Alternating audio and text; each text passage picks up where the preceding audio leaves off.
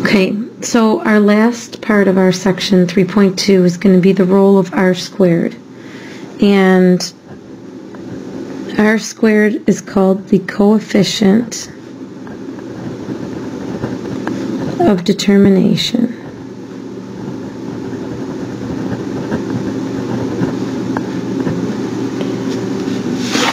And, you know, your calculator will give you r, and r squared is basically you take r and you square it.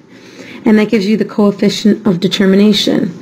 Um, what this represents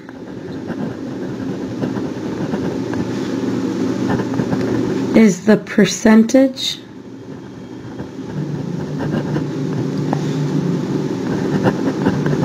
of the variation in y that can be explained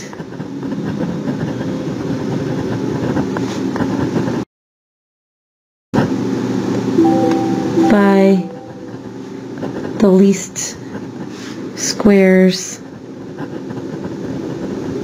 regression line or least squares regression line LSRL. I just think it's cheesy to keep uh, abbreviating it. You actually have to memorize specific words to use for the AP exam. So I'm going to put here, memorize this.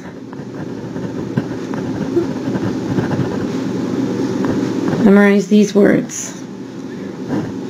Blank percentage, and this is going to be your R squared times 100, because we want it to be in a percent of the variation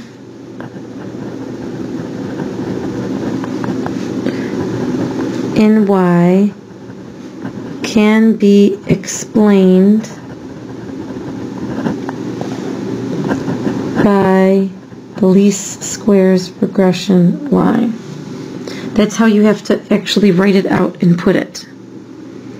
So, for example, on the next page of what we're going to be doing, um, we get an R equals 0.696649. Okay, and that's a pretty strong relationship. I know some people were kind of fighting as to how you use, what you use for strong, what you use for moderate, and what you use for weak.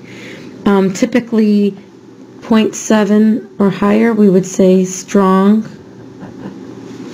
So fairly strong, up to very strong because you know it only goes up to 1 or down to negative 1. Um, and pretty much like that 0.5 and higher we would say something like moderate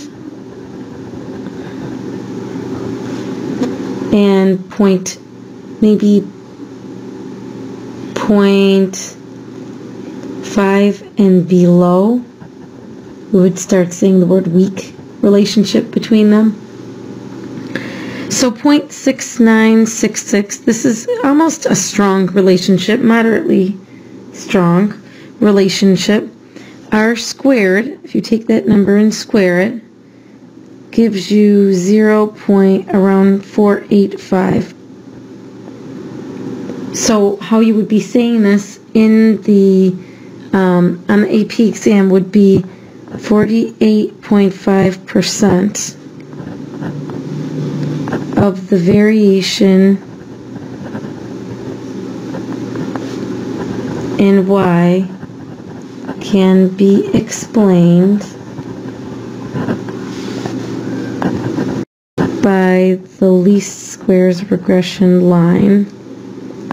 And technically you could also use the opposite of that or the, the converse of that. What amount is unexplained? So 100% minus 48.5, that leaves you 51.5% of the variation in y cannot be explained by the least squares regression line.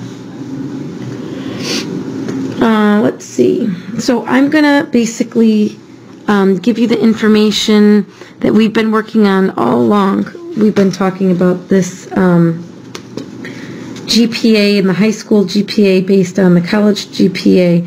So I'm going to put the table up here because I know a few people had lost where the table was.